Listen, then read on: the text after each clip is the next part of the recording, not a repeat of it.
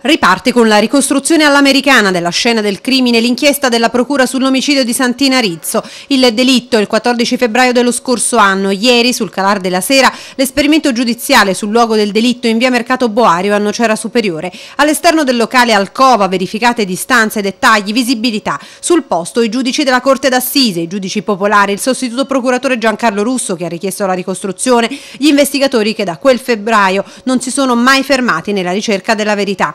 Nei dintorni anche la mamma di Santina Rizzo, i suoi due figli, oltre agli avvocati Carlo De Martino e Monica Bagnara. La scoperta del corpo della lucciola fu di un nipote che dopo aver atteso la donna insieme ad un suo amico era entrata e aveva scoperto la vittima a terra con le forbici infilzate in gola e i genitali mutilati.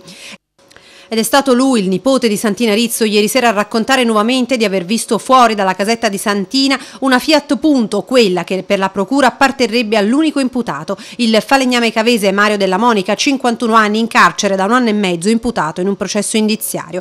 La messa in scena del delitto è durata ore per verificare tutti gli spostamenti dei protagonisti di quella terribile vicenda. Potrebbero rivelarsi determinanti le registrazioni delle telecamere del battistero di Nocera Superiore da e per Cava dei Tirreni nel lasso di tempo tempo compreso tra le 18 e le 20.